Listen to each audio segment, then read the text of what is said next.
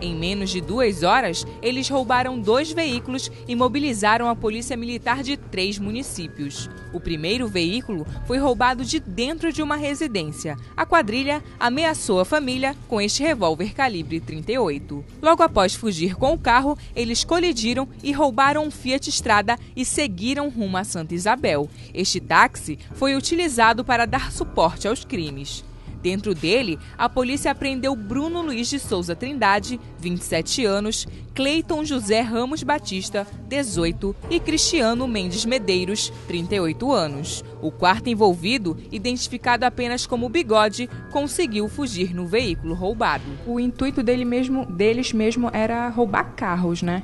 É, com certeza. Que eles fugiram no Hilux, não conseguiram, né? Que bateram e prenderam o fuga. O próximo carro que passou na frente deles lá, que foi o Fiat Estrada, é, tomaram de assalto também e seguiram o sentido BR-316 Santa Isabel. Eles estavam utilizando um táxi para fazer essas, esses roubos, né, esses assaltos. Com certeza. O táxi geralmente é o apoio, né? Ficam dois ou três no veículo, dando apoio para o restante que fica fazendo o assalto. Apresentados na seccional de Marituba, Cleiton assumiu toda a responsabilidade, mas se enrolou ao dar explicações. Sou inocente aí, rapaz. Só você que estava cometendo esses assaltos? Lá, foi o outro que fugiu. Os caras são inocentes, só pedi pra eles me levarem lá na Santa Isabel mesmo. Já pararam e estão botando a culpa nos caras aí, rapaz. E qual era a tua intenção roubando esses carros? Que carro, não roubar carro, a gente pegou só pra fugir mesmo.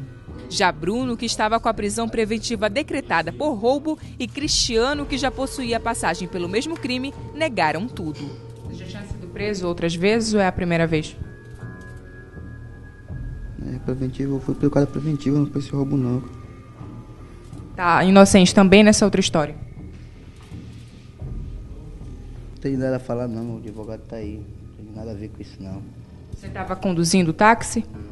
Não tava conduzindo não, tava dentro do táxi, tava conduzindo não. Não tem nada a declarar não, pega com o advogado. Mas o que, que você estava fazendo dentro do táxi? Tava dentro do táxi, não tem nada a declarar não, pega com o advogado aí, ó.